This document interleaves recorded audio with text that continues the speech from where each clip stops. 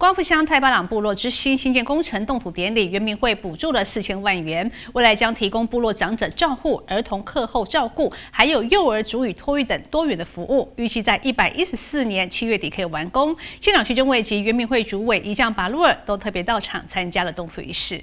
在部落头目的祈福仪式结束之后，紧接着县长徐正伟、主委一将八路、乡长林清水等进行动土仪式。这是光复乡的太巴郎部落之星新建工程的动土典礼。我想这也是未来或许城镇之星怎么样让它一二三四楼能够很好的跟我们整个部落一起共同来使用，发挥最大的效益。我想这个是很重要的。一将八路表示，去年的九月。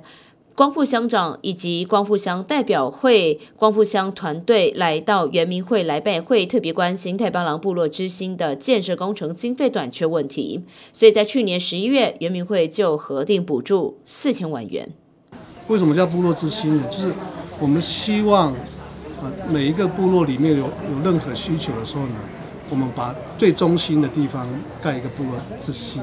所以也可以讲部落活动中心。而这项工程，原民会核定的补助金额是四千万元，预计在一百一十四年的七月底就会完工。未来将会提供长者的照护、儿童课后照顾以及幼儿的足语托育等等多项的服务功能。